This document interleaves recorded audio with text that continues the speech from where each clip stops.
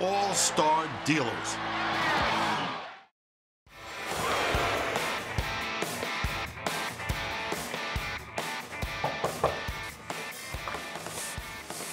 Dennis Rodman, I presume. What's up, dude?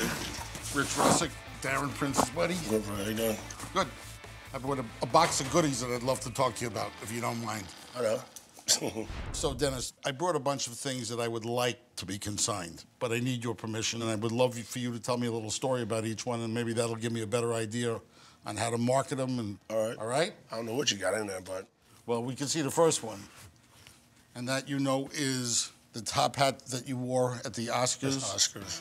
with Vivica Fox. Yeah, Vivica Fox, yeah. She was my first choice to take to the Oscars. Um, I asked Carmen Electra to go with me, and she turned me down. And then, as I was going to the Oscars that day, Carmen called me in the car. I said, well, a little too late, honey. I got somebody else. Everyone wants to go to the Oscars and those parties. Well, I think a lot of people love the uh, after parties, and people just get trashed. Sounds good. Sounds like a fun It's, evening. it's a fun evening. Then take it, take it back to the hotel. Once back to the mansion, you're good.